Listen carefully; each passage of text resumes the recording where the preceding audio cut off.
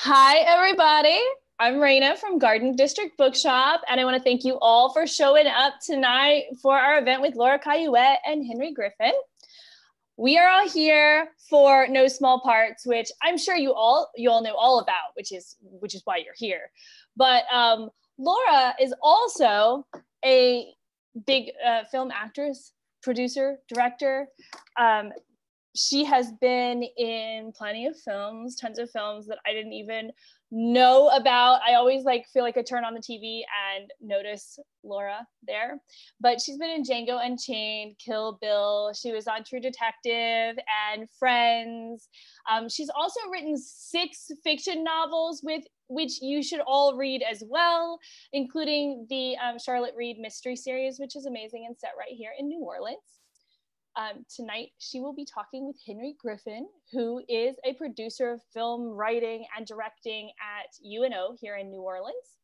And they'll be talking about Laura's new book, well, not new book, the new edition of her book, Know Small Parts. And I am excited to be a part of this. So I'm going to unpin myself here and take it away. Yay. Hi, everybody. Uh, so, again, my name is Henry Griffin. I'm a professor at UNO. I teach screenwriting and directing, and I'm also a filmmaker myself. And I'm also an actor. Um, that's sort of lower on my list as far as my resume goes. But if Laura Cayouette is like a Kevin Bacon person, where every actor can identify how far they are away from her, I have a Cayouette number of one because we both did Treme. Yeah, we were both on Treme. We both played recurring roles on Treme. And uh, the odds of two people in a two person conversation at a bookstore being redheads is very rare. And Raina, you make it sort of a th- so three redheads. uh, be, be prepared for uh, treachery.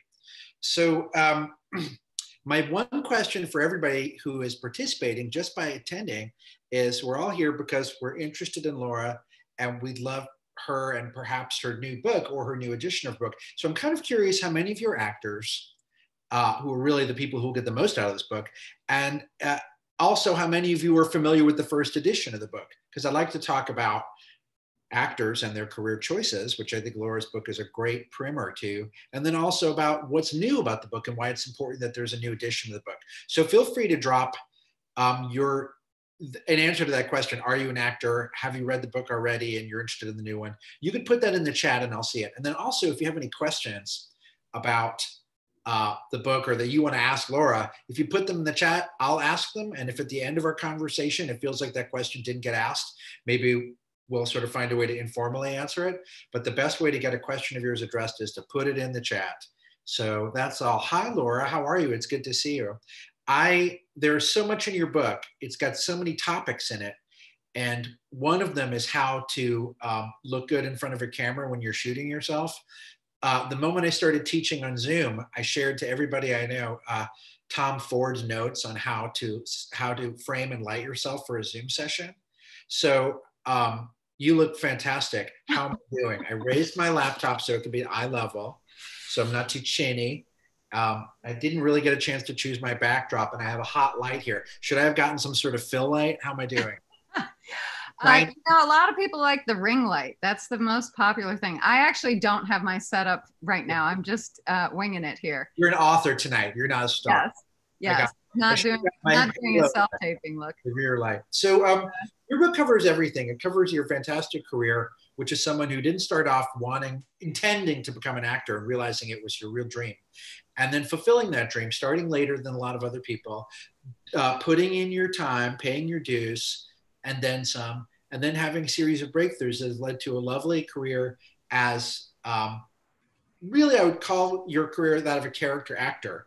But which mean that you play many small parts supporting. It gives you a lot of variety in what you get to do, and you've made a career for yourself, even surviving the move to New Orleans, which is not the front lines of the entertainment industry. Your book addresses so many stages in the career of a working actor that I sort of want to take a little bit of time and talk about your unique perspective on three areas of it. And the first one is breaking in and getting a job and auditioning and just how to get, how to, um, how to do what you would say is booking a job and Richard Dreyfuss would say is a booking a job. how to get the gig, how do you get in? And then the second part, I'd like to talk about how you do your job uh, in a world that it doesn't revolve around the day player or the character actor. And then also, I, I think the other great thing about your career is career maintenance and how much you've done to um, keep people in the Laura Cayouette business, which you are. And so I feel like if we can cover those parts, then I think we've got your most original perspectives in a book that I think is a strong addition to the bookshelf of any actor. There's a lot of books about the act, the craft of acting for the stage, even for the screen. There's a lot of memoirs by actors, but yours is really the book that you wish somebody had given you. Um, what? Here, I'll ask you a nice. Here, here's a question you can answer any way you want. If you were starting your career now, what would you do? If you were in New Orleans, interested in acting, about the age you were when you started, so like not 15, and you wanted to get into screen acting, what would you do now in this reality that we're in? I have not really thought about that. So that's an excellent question. Um, I think it's difficult time to start. I think it's a very difficult time to start because of you know all the COVID uh, parameters that have been put on travel, shooting out of town, all that stuff.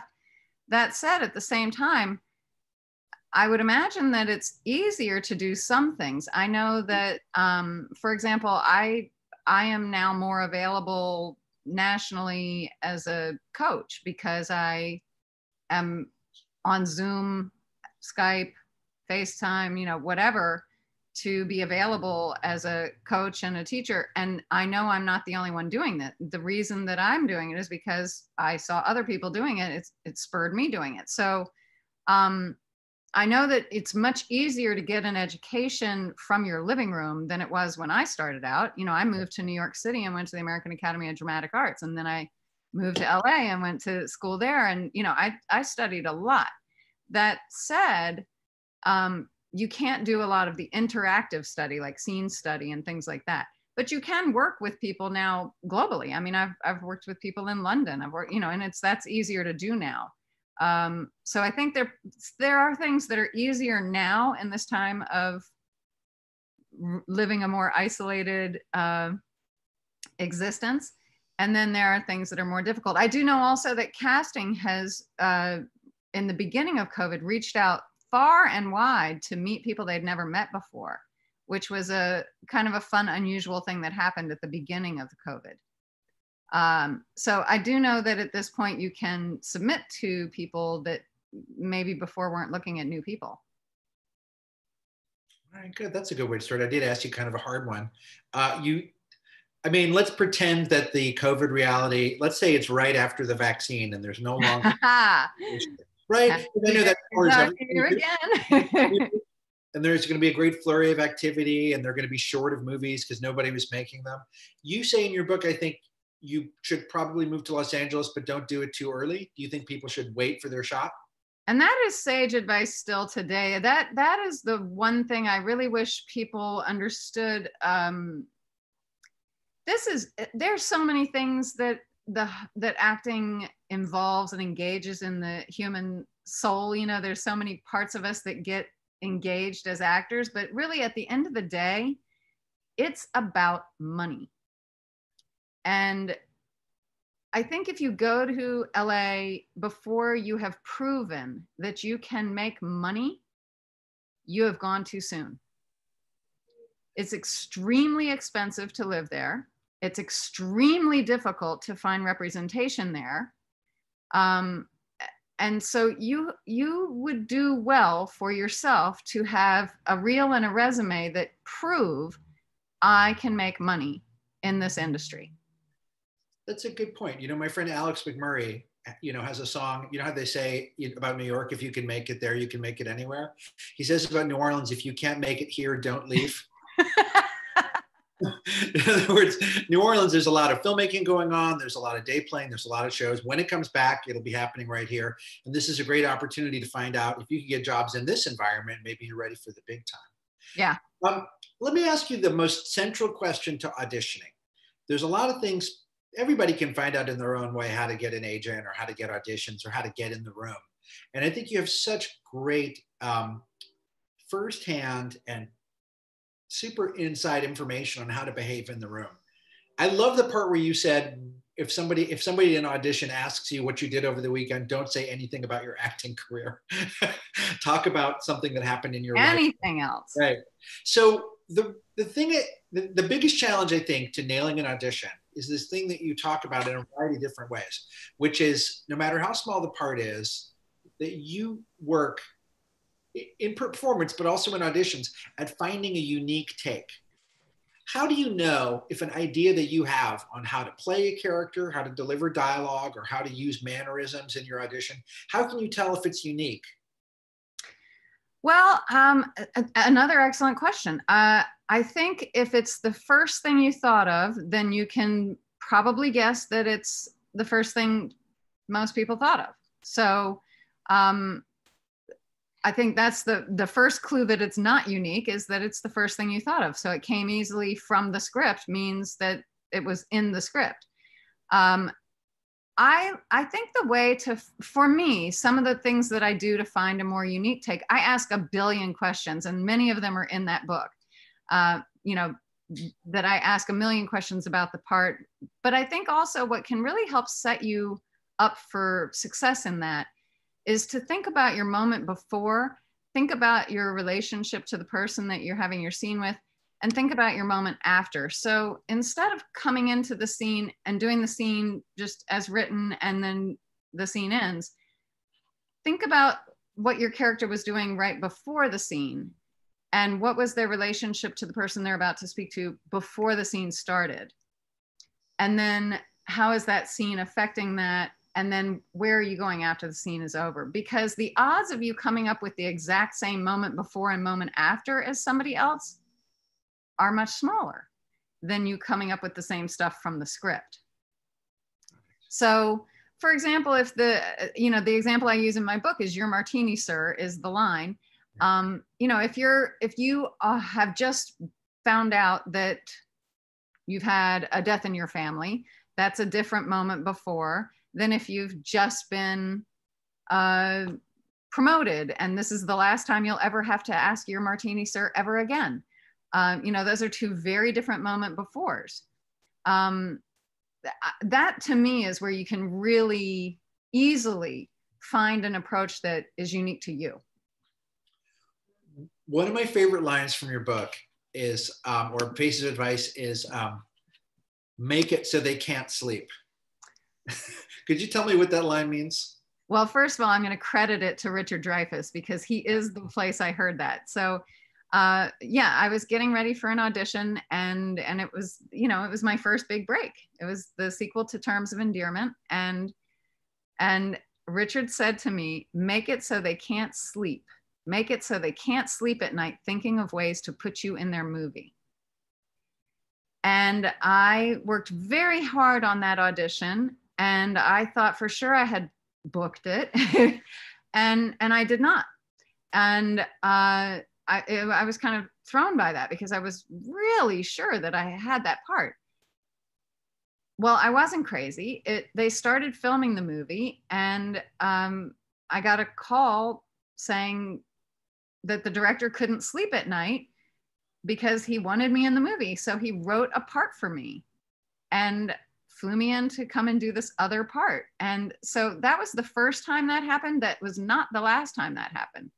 Uh, I, I try to leave a taste in the mouth so that, you know, they, they want to work with me again. And they, and if they don't get it on this thing, then maybe they'll call me on on another thing, or maybe they'll figure out a way to jimmy me in or whatever. But I try and be unforgettable. And it's true, a lot of your ideas are about how to take a small part and make it a big part and how to get noticed, not just as an actor among auditioning actors, but also if you get a small part in a movie, how to get you to notice it. Um, whereas, you know, as it from the director's perspective or the editor's perspective, sometimes you don't want small characters to steal scenes. Do you feel right. like there's a way that you can go too far to let people know that you're not? Can is is there a risk of overplaying it Sure, but here's the thing: is that's when the director is allowed to direct you. Um, for one thing, whether it's the casting director or whether you're on set being directed. I find that's more problematic in a comedy than a drama. Uh, comedic actors tend to want the laughs to be for their mm-hmm. character.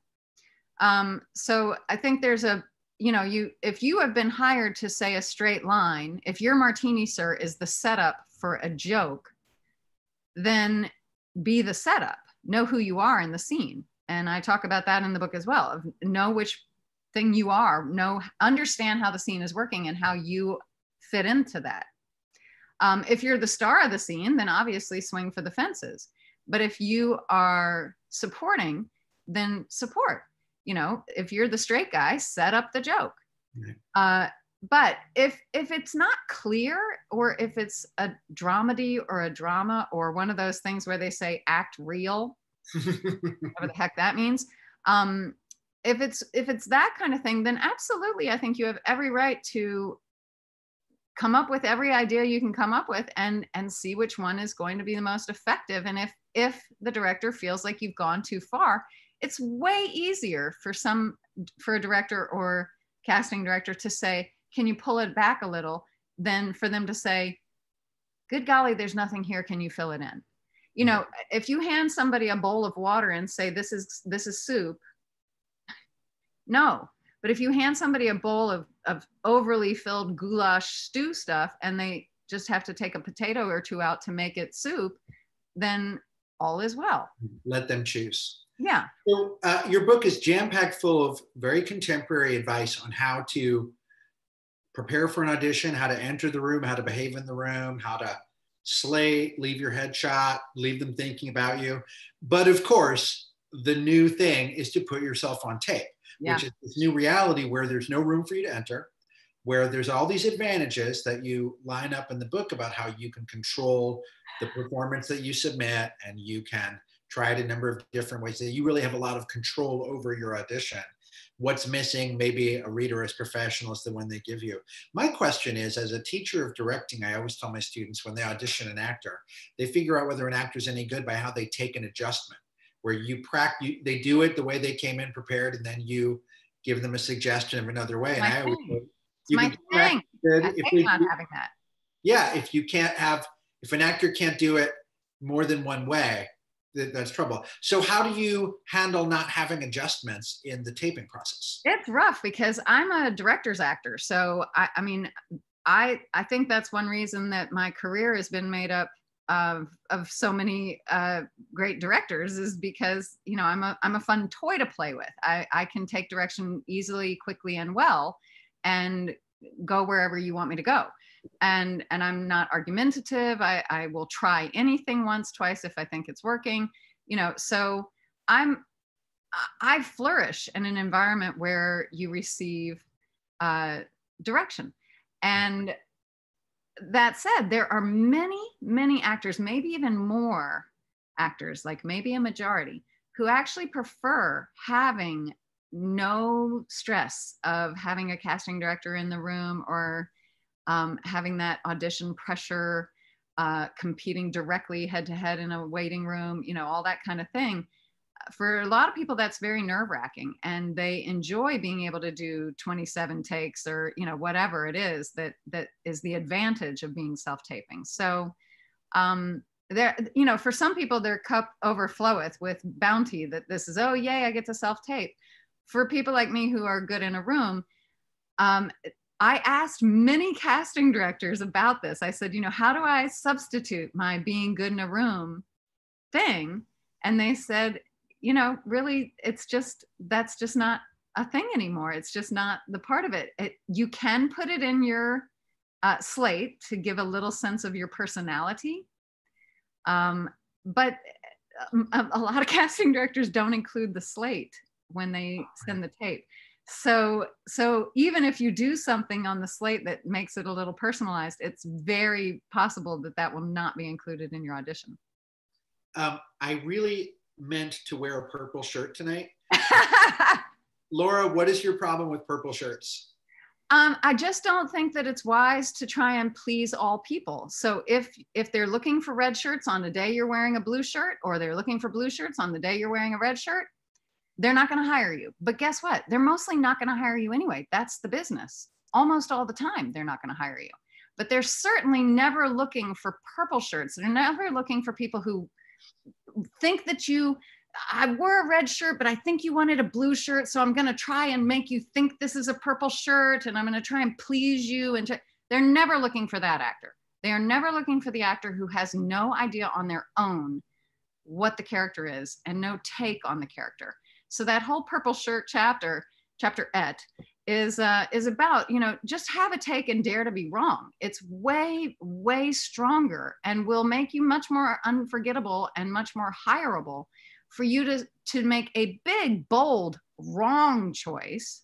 You know, a red shirt when they're wearing blue shirts choice than to try to second guess what it was they were looking for and try to please them all by muddying up your performance with a whole bunch of well maybe they want it this way maybe they want it that way i'll do it a little bit this way and a little bit that no no just do do something and do it horribly but but do do something that is your unique take you know be bold enough to fail loudly how do you um when you get the part, we're getting into this part now. You're actually acting on the set. You got hired on a piece, and you're playing. Let's say that waiter, where you give the example of how to do the, you know, you know, the uh, a part that's really there, an underwritten part about a character who may not even have a name or a background or you know an intention. Uh, tell me about the process of making a character when the script doesn't really supply you with one, so that you can just do the part that they want in a more believable way. Well, it depends on how much material they give you. If if all it says is waiter and it doesn't matter what sex you are and it doesn't say what age you are and it doesn't say anything else about you other than waiter, then you get to fill in as much of that as you care to using the script. Anything that the rest of the script supports, you're allowed to you're allowed to use your imagination as wildly as possible as long as it doesn't disagree with what's in the script. Now say you are only given sides and you have no idea what's in the script. And you have nothing but waiter your martini sir. Um, if you have that then then odds are they called you because they like you. So do a version of you as a waiter. That's a great answer. I um one of the things about your book that i really like is i'm always trying to give my students ways to address result direction where they don't know anything better than to tell an actor the effect they want them to achieve. Like be really nervous or be really angry, things that people don't choose to do on purpose.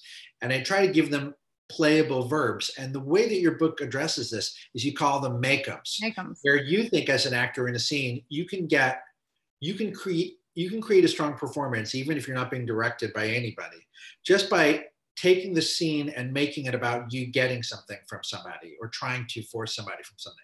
My question is pretty intense, which is that I noticed there's a part of the book where you say that if you're trying to motivate, you know, so giving somebody an engagement ring, you can say, I want to give her a good present, but a stronger choice is, I want her to marry me. When you give a homeless person a dollar, your objective might be to help them, but you could also be to relieve my guilt or feel better about myself or appear generous. Why are, um, why are selfish motives stronger takes?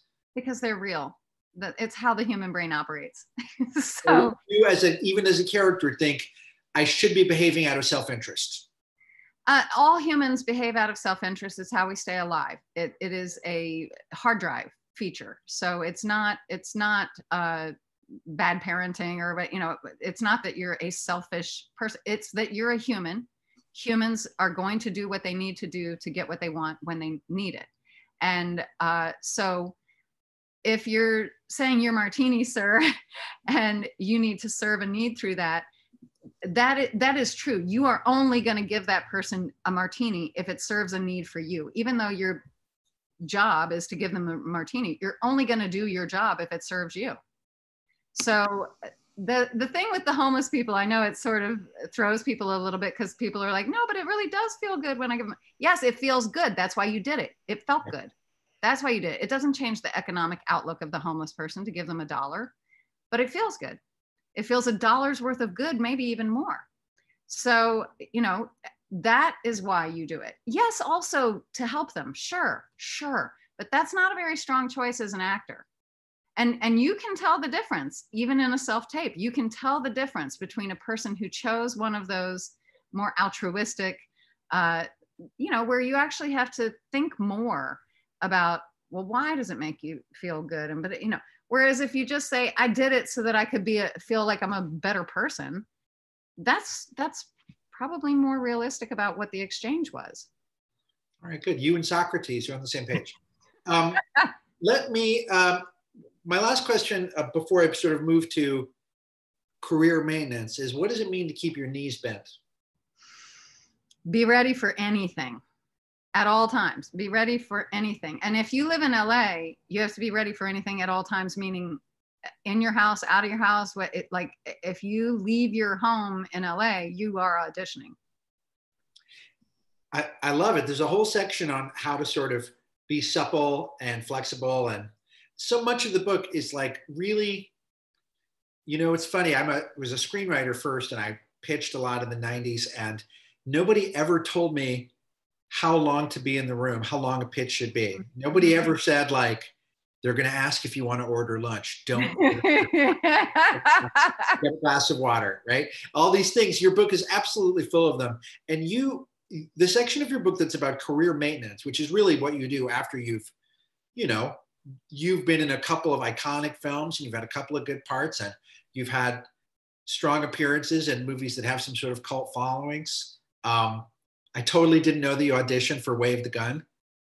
Yes, I did. One of my very best auditions ever. I didn't get the part, but it was one of my best auditions ever. And it's the one movie I'm in that people know. So it's the one that just fell right into my lap. So, um, but um, you you talk about sort of getting over any issues you have relating to sort of having a direct relationship with your fans, uh, including going to sign your advice on how to like do that part of your career is so specific. You tell us when you go to the convention to sell signed photographs how to break down the $200 in cash that you need to make change. That's how specific your book is. It really tells you so much. It's an enormous toolkit, your book, and I'm really grateful for it. But tell me, let's say um, somebody has been in some films or they've, you know, they've been on a TV show that people watch or they were they had one line in a big movie or you know what I mean? Or they're like you that they've been noticed because they were on that episode of Friends or what have you.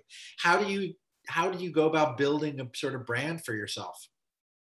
Well, I started working before the term brand meant anything other than, you know, products. Uh, that that term wasn't applied to humans when I was starting out. Um, so I'm of an older school of the yeah, I mean, and I guess I'm sort of not even in agreement with it because I look at somebody like Sean Penn. What is his brand? Excellence, right? Isn't that the brand? But but when would we have figured that out? Because first he was Spicoli. What does Spicoli have to do with what becomes Sean Penn's career? And and Matthew McConaughey was first, you know, all right, all right, all right, you know, like there's so many actors who, I mean, if it okay, then if the brand is excellence, then that's what everybody should be shooting for, because I I feel like it's dangerous to to look at your brand as I've made this choice of this is how I'm selling myself and this is all there is to sell um, especially because you're not actually in charge of how the world sees you. Uh, you can affect how the world sees you. Um, you know, Britney Spears was a delightful young girl in a uh, sexy little schoolgirl outfit. And then one day she shaved her head and got out of the car with her legs open and she rebranded herself as a crazy person. But, you know, I personally feel like go for a brand of excellence like Sean Penn, where they can't put a finger on you. And it's not about that, oh, they always deliver in this and you shouldn't hire them for that. Or, you know, well, I, I, feel like it's something to leave open and they're going to tell you what your brand is sometimes. Let me take it back to the career maintenance thing because it's something for you to do while you're waiting for this, this the next part. You know, after the pandemic's over, you might get back to engagement with fans who want to meet you and see what you're doing. Has uh, your experience of like you know, hanging a backdrop and selling photographs and meeting people who love your work and taking selfies. Has it led to work opportunities for you? Uh, actually, it has, and and not all of them come to fruition. That is one thing about dealing directly with the public is that you know people want to be able to communicate with you maybe again after the event. Uh, if you're at a signing convention or if you're at a premiere or whatever, you know, sometimes people want to be able to get a hold of you later. And so they'll talk about a project that they would like to involve you in. Uh, and and sometimes that's a real thing and sometimes that's a theoretical thing and and sometimes it's a if everything lines up right it'll happen in 10 years thing right um, yeah and you won't even be right for the role anymore so um, you know it's i'm cautious about uh, connecting with fans until i understand whether the if they're trying to get in touch with me again uh, whether that's something that i want to be a part of I understand that they're telling me they would like to be a part of being in touch with me in the future. But I, I, I do, I do this even with regular just relationships. I allow room for people to show up for me at least one time, doing at least one thing before I will do anything for them. So, uh, for example, if if I meet a person at a party or whatever, and they say, um, you know, they really want to do this, that, or the other thing with me, I will say, well, why don't you call me tomorrow after two and we'll talk about it. If they don't call me the next day after two, I'm out. Well, you just led me to my favorite line in your book, which is that the way that you do anything is the way that you do everything. That's really, as somebody told you that, it's a very wise thing. So if somebody is late for the audition, they're going to be late to the shoot. If somebody is inappropriate and rude to you, in the audition process get ready for what they expect you to wear in the shoot. Do you know what I mean? That yeah. like um I that's I appreciate it. Now you've told your secret, of course. So now I've told well, all my secrets. The first thing, right? And then I can really a price of fourteen ninety five. You can have all my secrets. and it really is worth it. It was uh, I, this is I've read you know I read the first edition when it first came out, and I read the second edition, and you know it has the part about teaching at the University of New Orleans, which I get points for that because I helped you do that. Um, yes, yes, you did. And um, gee, I feel like, uh, tell me about one of my favorite parts of the end of the book. Could you talk about the one that got away? Are you talking about Castaway? it's this, yeah. Is it the section at the end of the book, or um, I'm trying to get to? There's so many really touching parts of your book. I really loved the part about. I'll tell you what. I'll ask you one that's a little less emotional. What are hyacinths for the soul? That is something my mother taught me about. Hyacinths for the soul are, uh, you know, it's a self-soothing practice. It's a it's a way to give yourself flowers. Give yourself, you know, emotional support. Um, and I think it's important. I think I think one of the most important parts of of an actor's career is finding ways to deal with rejection and disappointment. The degree to which you will succeed in this business is almost directly proportional to your ability to take it. And, and disappointment and rejection are a constant part of our diet. Uh, you know, I, I try and remind people when I teach that um, if you're watching a movie and there's 40 people in the movie, um, probably three of them have almost all the lines in the movie. And the rest of them are all small parts. And and then when you think of how many people went in for because of course you know those top three parts that was some meeting people had. Oh should we put charlize theron or should we put you know emma stone or whatever? But then the rest of those parts were probably cast. And that means that dozens potentially hundreds and or thousands of people went in for each of those roles. There were 4,000 people that went in for the role of Hush Puppy in Beast of the Southern Wild. 4,000 kids went in for that role. So that's 3,999 disappointed children. It's heartbreaking when you wrote that. I was like, I never thought about all that sorrow and disappointment. Yes, but that's the job. That's the job. When people say, What's it like being an actor? I say, How do you feel about job interviews? Yeah. Yeah because that's that's basically what it is is is it's a whole lot of not getting the job. And then once in the bluest of moons you get the gig. Yeah.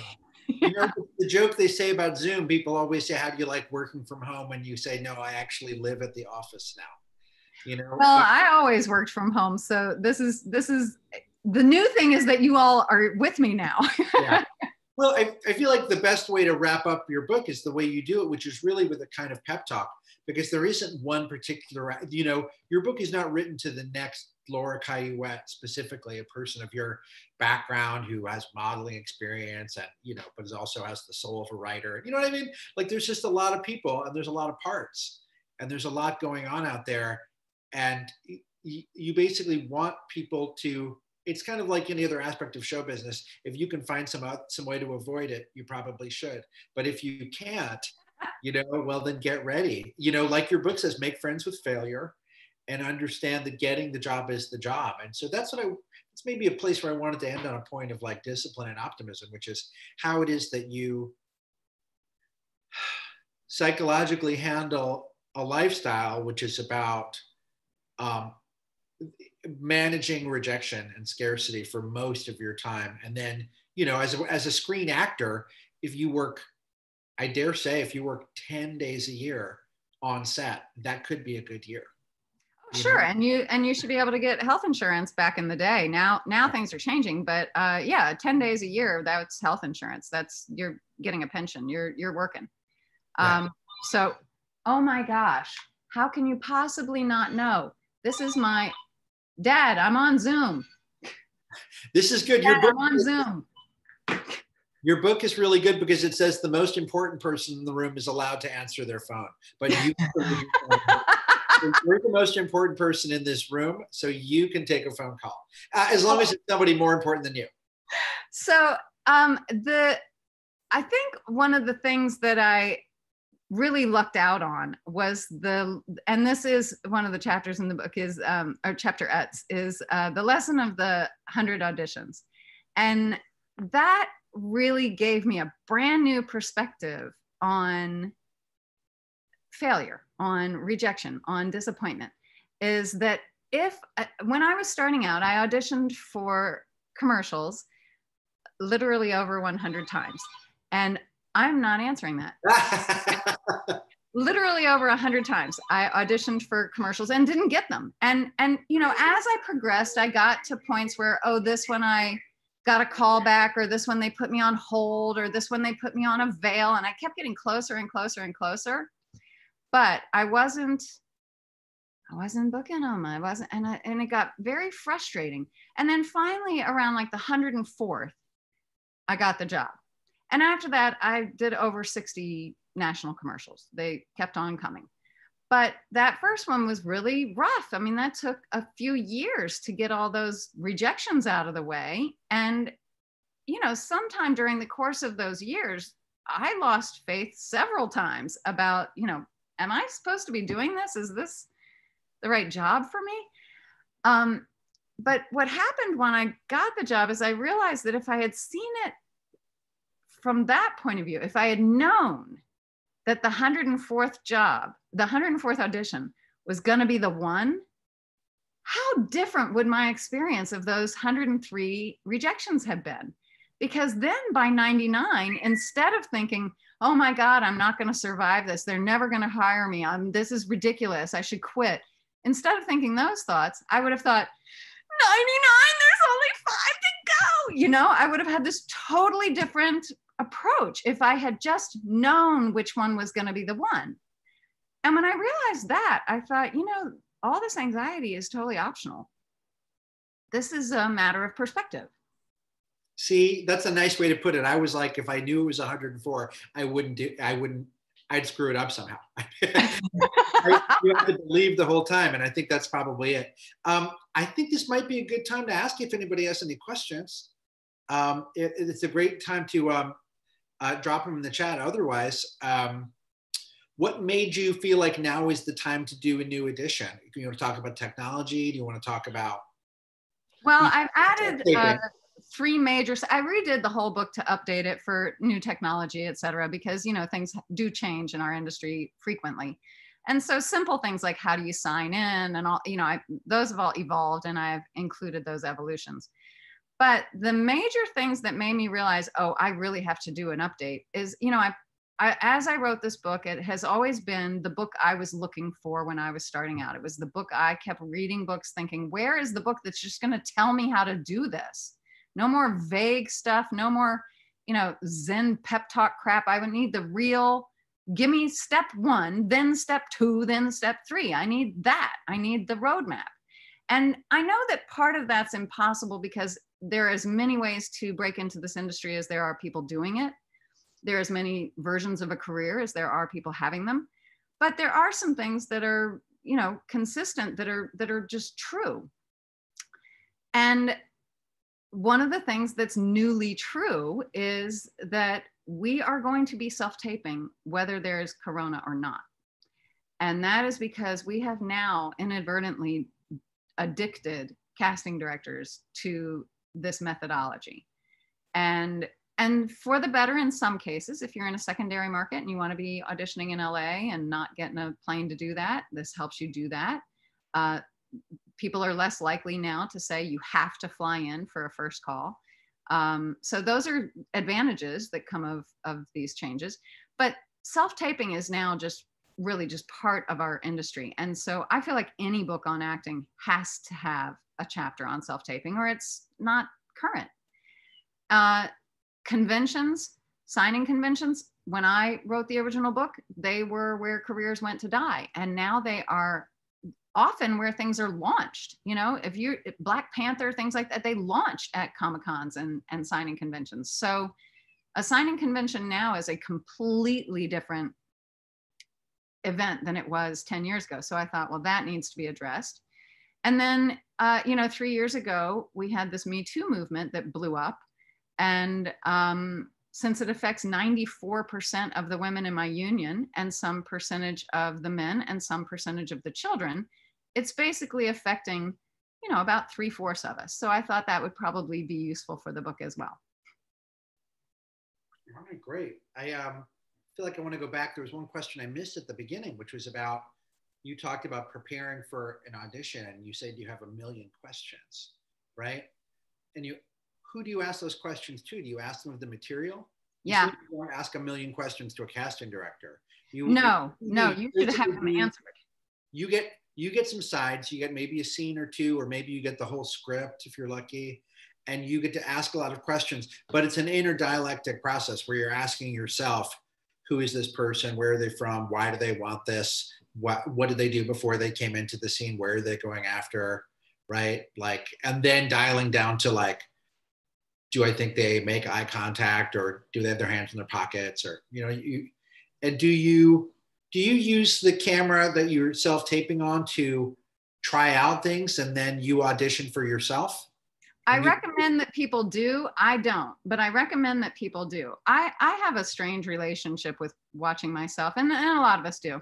Um, I, I'm not a mirror person. Uh, you know, like Richard Dreyfuss, when he was, you know, when he was nine, I think he started acting into the mirror, and he would do that daily, and it was his workout. Is that every day he would do monologues into the mirror and he really became a master of his face. And there are several actors who really are masters of their faces, and you can see it in their work. Um, and I have given that skill up in order to have a lack of self consciousness. I think, um, especially because I was a pretty girl when I entered the industry, I just didn't want to get too trapped by that and so and I, I just i'm not a mirror looker that's just not my thing and so self taping in order to watch myself and learn from that i think it's incredibly valuable and it's something that i just don't really do a lot i do it when i'm auditioning now because when i self tape i'm now learning a lot about myself as an actor and a lot about what works and what doesn't work on camera because i'm now the casting director but you know i still focus only on the work and i i really am not a facial expression actor. It's not, I'm not Jim Carrey. I'm not, you know, I'm not somebody who's doing the million faces thing. I'm, I focus more on the inner work and, and hope that it conveys. It externalizes. You would, I mean, I always say actors are kind of principally either outside in or inside out, and you sound like an inside outer. Why don't I? I'm both, but I, but I, I'm both because I often get hired to cry. So you have to do, you have to be able to get, you got to have a lot of tricks if you're going to be crying 18 hours a day but um but i do both but i but i am primarily an inside out why don't i end by asking you about uh, the wall of inspiration what is that Oh, um, it's something I haven't done in a long time, but I I found it really helpful. I I when I was starting out, I put together a wall of you know like a collage of people who had already opened doors for me, people who had already you know like women who were already tall before I was tall, you know, uh, the Geena Davises and Laura Derns and um, people who were already redheaded before I was redheaded, the Shirley MacLaines and the Lucille Balls, although she's a an honorary redhead. Um, but you know, I I did that, and then I also included people who had started later in life, like um, uh, Glenn Headley or uh, uh well, there those are mostly men, but there were a couple. Um, Ellen Barkin started a little later, meaning like 27, I think, or five, I don't know. But in any case, um, you know, I did have anything I knew was going to be a stumbling block for me. I found the faces of people who are already done that, the door kicker openers, and I put them on this collage that um, was right near, right near my mirror, so that, so that when I would be getting ready for an audition, they're right there saying, "You can do it," because they've already done it. Well, I think that's great. I also think we live in a very special time where, you know, the uh, one of the one of the words of our time is representation, where people like, you know, I teach at a urban working class university where a lot of the students are the type who wouldn't necessarily have seen someone who looks like them up on the screen playing the roles. And now I just think diversity is so important. I think it's kind of great for young people who are trying to start now, or even new people. They don't have to be young, but they can go out there and see that there's people like them. Every time you see somebody who's, you know, uh, you know, you, you get to have Glenn Headley and, you know, other people get to have Paul Giamatti or somebody else where it's like, oh, someone like me is a movie star. John That's- Mahoney didn't start his career till 47 years old. Morgan Freeman didn't start. I mean, there are a lot of people who didn't start till older. There are a lot of people who are either too tall or too short. You know, there's a Danny DeVito and a, I mean, there's a, there's a something for everyone to prove it can be done whether you're the mom in Gilbert Grape or what, you know, whatever is your body type, whatever is your skin color, and that is more true now than it was before because of television. Film ought to be ashamed of itself, but television has really moved that needle forward quite a bit of that. There's really just every kind of every kind of person there is, there's work for now. Well, I, somebody once said every Harry Dean Stanton deserves their Paris, Texas. it's uh, that that everybody has the great everybody has the opportunity to be an actor because we're all you know you can either be someone who's trained or I'm somebody who backed into it by accident. And I think it's really just what you do with the gift you have. And I think your book is a tremendous guide. That's probably most of the questions I have. Raina, what do you think? Should we, uh, should I directly ask some people some questions or do you think we should sort of break up or what do you want to do? I mean, I think that if if no one has any other questions, and if you do, please type them in the chat right now. We'll hang out a couple of more minutes. But if not, I think we're we're ready to wrap it up. If you guys are. Well, I can't believe nobody has any questions. Well, you know what I do sometimes in my Zoom classes is I tell them class is officially over, and then I pretend it's the end of class, and they can come up with a question that they didn't want to ask in front of everybody else. So we could officially adjourn, and if anybody wants to stick around and ask a question, so it doesn't feel much like you're in front of the whole class, maybe we can do that too.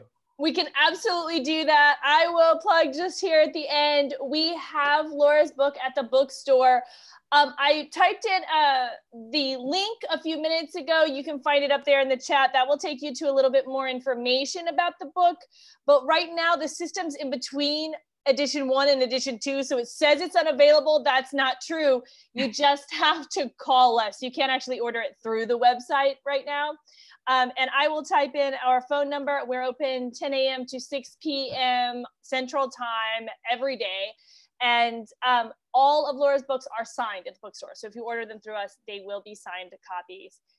And, and you'll be supporting a local bookshop. Yes, which we Shop always local. appreciate. So I will type in the our phone number one more time here to the chat, and then officially we are adjourned. Yay. I want to say thank you. And I, I also get to do this one where you get to use the clap emoji, oh. which is what you do instead of clapping at this. So there.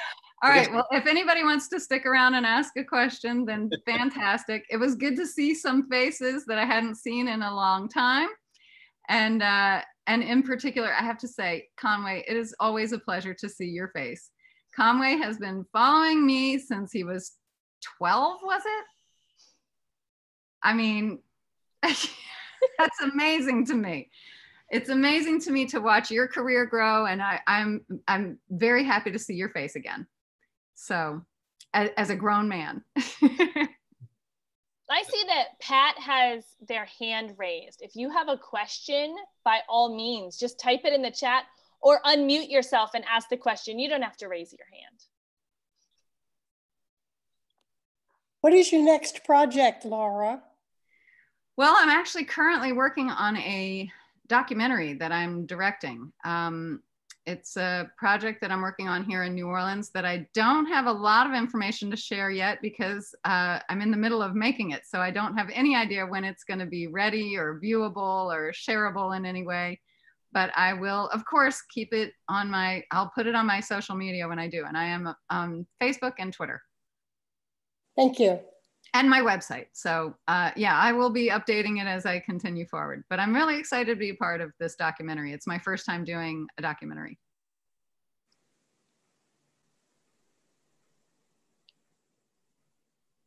And I'm going to mispronounce this. Soon. Hi, it's okay. Soon to yes, Cinturi, please go ahead. Ask your question. Hi, Laura. Hi. Um, How you doing today? Um, what did you say? I said, "How are you doing today?" I'm good. I just got to California today, so a little tired. um, you know, I wanted to ask. You know, I know um, you are in New Orleans, but now that you're there, are you still? Do you go back and do work in Los Angeles or the other markets? Like, I don't know. I don't know when in your career you had moved to New Orleans, but you know, once you were working in that new market, are you still able to, you know, um, go back to the other ones or still have a hand in there or a foot in there, you know? I uh, when I first moved here, I it was like a divorce. I basically um, was like, okay, I'm I am gone from you. Uh, so I did not keep any representation there. I was not. I did not keep a foot open in, in that area. Um, how would I work there? Sure, if they had hired me, I would have worked there. But I wasn't actively pursuing working there because back then we didn't have self taping. So, you know, if you weren't in the room, you weren't in the room. Um, about maybe three months before the COVID, I had decided that I was ready to reintegrate uh, LA into my career. And so I did find representation in LA a few months before COVID. Um, sadly, that has been a bit derailed. Uh, but uh, yes, I, I, I am open to it now in a way that I wasn't before, and and partly because I had to open myself up to places like Atlanta and Florida, and you know I've I've just had to open myself entirely because the industry has sort of spread all over the place. So do you think now because of self tapes that that in the future, once traveling is not as scary, maybe um, that is something of an opportunity that opens up that you could work in different markets and not be in the location per se? I do. I will tell you that basically where you are is where you're going to work. I, I have worked like I, I'm I worked in Maryland. I did House of Cards, um, and and oddly ended up uh, my hotel was like half a block from where I used to live, so uh, that was kind of fun for me. But um, you know, so I have worked in other locations, and that's not the only one uh, since ha- having moved here. But um, basically, if you're a Southeast actor, you're going to end up working mostly in the Southeast. If you're a West Coast actor, you're going to mostly work on the West Coast. If you're an East Coast actor, you're going to mostly work on the East Coast. There are regions, and those regions tend to, because the casting directors tend to know their groups. You know, they tend to know who's where. So in a reality based world, uh, yes, the, you could work anywhere, but you tend to work in your region. Thank you. You're very welcome. I see Charles Riddle as well. so uh, a very long blast from the past base. So Uh, any more questions? It's not a bad thing, is it? What? A blast from the past. Oh no, it's a fabulous thing. I didn't. I, we went to high school together, so uh, I haven't seen his face since high school. So this Same is a, kind of a thrill for me. Uh, yeah, I didn't go to the reunion, so. there. but uh, but yes, it was a it was a a fun thing to see all the faces that were there in the photos. I just didn't go. Hmm. But all right, well, do we have any more questions? Well, if not, I'm going to wish everybody a wonderful night. Oh, wait, are you trying to talk? Katie, are you trying to talk? Yes, I was going to ask a question. Sure. Felix is trying to ask me a question at the same time. I was going to ask, um, and this is just a general question for you. Um, if you could have played any part at all in cinematic history, whether it's something in Gone with the Wind or Casablanca or anything, what part would you have loved to play? I would have loved to have been Scarlett and Gone with the Wind because it is the best role written for a woman in the history of cinema. Hmm. That said, I would have hated to be the one that had to deliver that part. And I think Vivien Leigh is Scarlett O'Hara. And so I would never want to think, I wouldn't think for one minute I could do better than she did. She did it to death. But I, I that is the role that I most covet. And and it is one of the reasons that um, that I was very grateful to Quentin for creating a Southern Belle role for me to play, although it was a very different type of role. Um, yeah, and and part of that is because we're we're we're gossiping now, but um, I had I had actually had a much bigger part in Kill Bill originally, and um, when I first I I I had four parts in Kill Bill, and the first part was this very big part, and when I lost that very big part, I was it they repla- Quentin replaced that part with a smaller part in the same scene, and that that part didn't norm didn't have a name at first and he said i'm going to name her scarlet for you. And so yes i have been chasing scarlet for a long time but i don't want to catch her because i would never want to have the burden of playing one of the greatest roles ever written for a woman ever ever ever. Hmm. yeah i mean it's a genius part. It, women are hardly ever allowed to be anti-heroes. I mean she's a terrible person. She's an awful person. And yet you're just like go go get them you know about all the terrible things she's doing. So i envy that. I envy that she got to do you know a guy role. So they don't write them for like, us like that usually That's true. Women are usually too worried about being likable. Well, and and uh, I don't know that we are, but we certainly are portrayed that way in film. So uh, yeah, we're either villains or we're moms. You know, we're either sweethearts or we're we're horrifying. We're there's nothing. There's no not usually until you get again to something like Kill Bill, which I consider the drive-in movie version of Gone with the Wind. Um, there are very few movies where the woman gets an opportunity to be you know like a person like a whole person where you know likable hateable all of it. So yeah. But i i there are plenty of roles that i i think i could have done justice to that i wish i had gotten instead of the person that got them but but that's not one of them that one i think is perfect Do we have any more questions? I have a question about the book in the intro where um um sorry Richard Dreyfuss he talked he said something about booking it like he doesn't like I like that confused me just because I'm not is it like he said it's like a modeling term and so what does It was, he say it was. instead?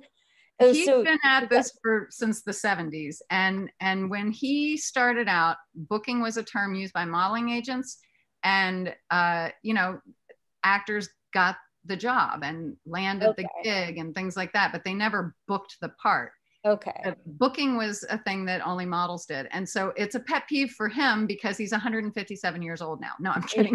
no, at the But time people he do said say that, like you book a job now. Like now, you do you say like, oh, I booked this role. I always said Right. it. That's what was so irritating to him. I met him when he was like 45, so he wasn't old at all when I we had this argument. But yes, he He's he, older than books. he he said that that's not a real term, and I was like, dude, that's what we all say. And Okay. part of it was because I worked a lot in commercials. And in commercials was where that first bled over from the modeling world into the acting world because so many commercials are booked by modeling agencies.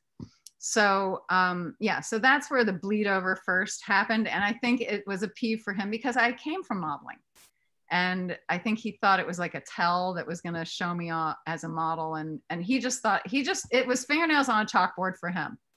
I And actually, used the thing that the thing that confused me the most about his intro when I first received it eight years ago was how much time he spent talking about beautiful girls. And at the time, I didn't realize that he was really the only person in my book who wrote anything about Me Too.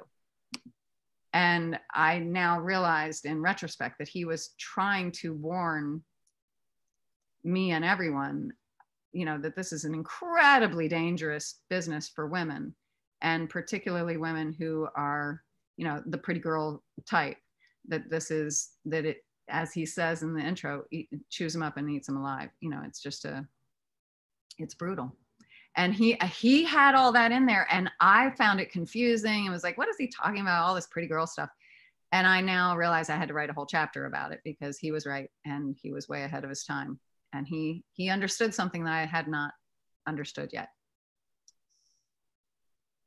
So I give him a lot of credit for opening my eyes to that that belonged in the book. What did they used to say back then? Then I guess if you got the role or you- Yeah, well, you got the part. got the part. Oh, okay. You got the part. That was it. You got the part. And they would have a big, you know, let's go out drinking. I got the part. I got the part. I and I say that too. I remember back in the day before cell phones and all that. I remember one time getting uh, paged at the movie theater uh, because I was always at the movie theater. I saw two to five movies a week back then.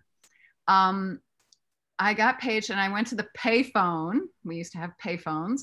And I called my agent and said, What's up? And they said, You got the part. And I was jumping around screaming in the lobby, I got the part, I got the part. And total strangers were walking by going, Congratulations. And, you know, because they all understood what that moment was. Um, but yeah, that that is all Richard approved.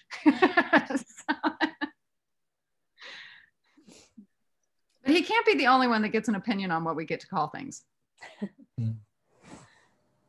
You mentioned the Me Too movement and his intro to the book. I was wondering, since you updated the book, did you cover that in the new? I did. I, there's a whole chapter, a whole chapter that talks about what to do if you witness something, what to do if somebody comes to you and, and needs help, what to do if something happens to you, how to figure out if something's happened to you that's worth mentioning or worth addressing or dealing with.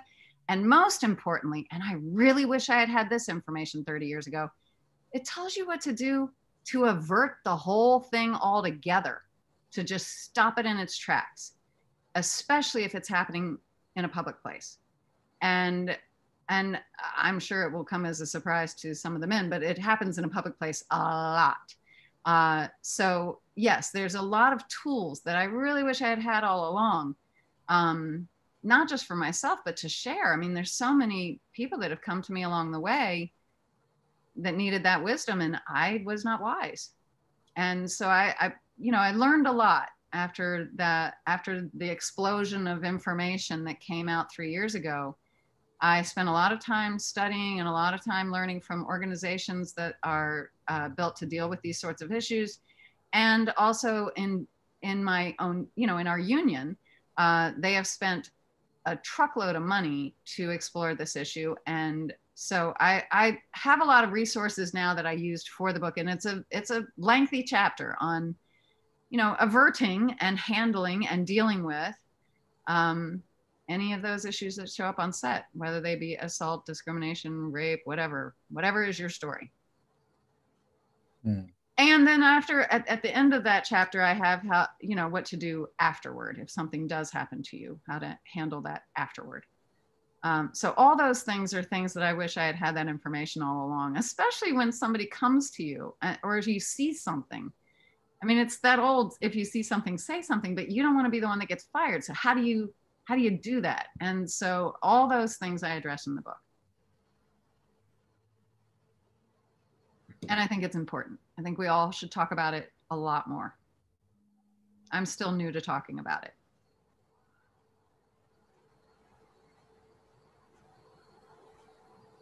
All right. And on Yeah. that happy note, mm-hmm. Right? I actually do think it's a happy note. I think it's wonderful that we are progressing in that area and making a workplace that's safe for all workers. Absolutely.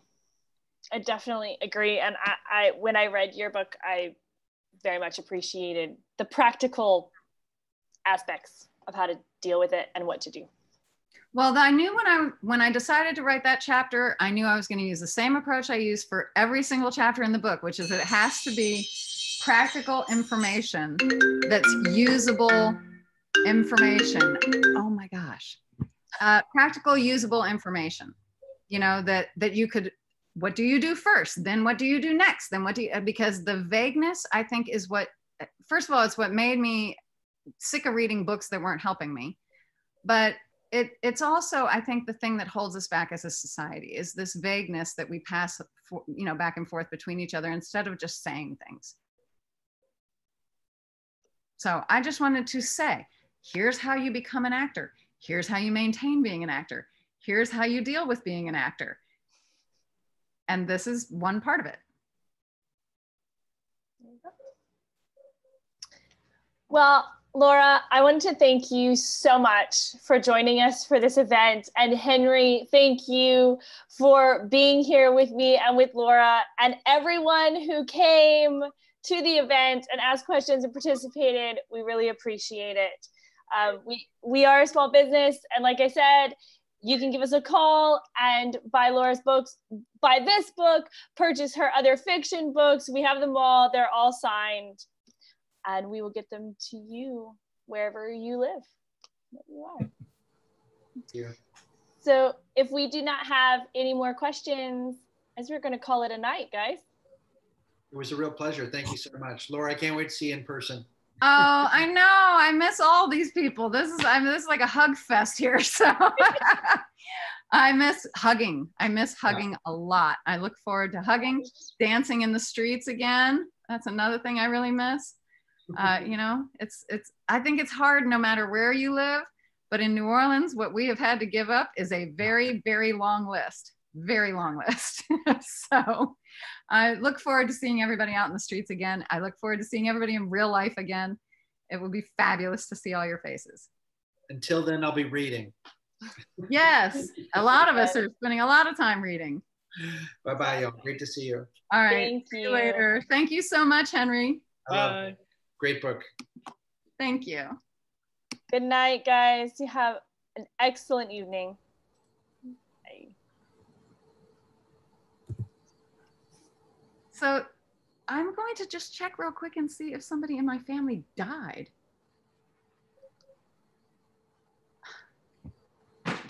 Four phone calls and nobody died. That's just crazy to me. What the hell? Yeah. I know you said it, it is is it past the cutoff time for your dad at Yeah, night? here's the thing. I invited him to this, sent him the link, and he and I said to mom this morning, I said, you know, he's done this thing again where, you know, we've been getting along so great, everything's been so marvelous.